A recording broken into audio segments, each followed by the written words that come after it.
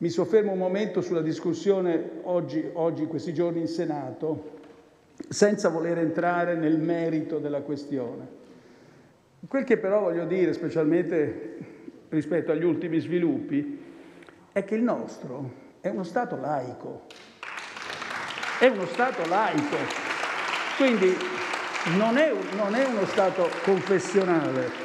Quindi il Parlamento è libero, certamente libero di discutere, ovviamente. Sono considerazioni ovvie queste, eh. ovviamente di, di, di legiferare, di discutere e non solo. Poi voglio dire anche che il nostro ordinamento contiene tutte le garanzie per assicurare che le leggi rispettino sempre i principi costituzionali e gli impegni internazionali.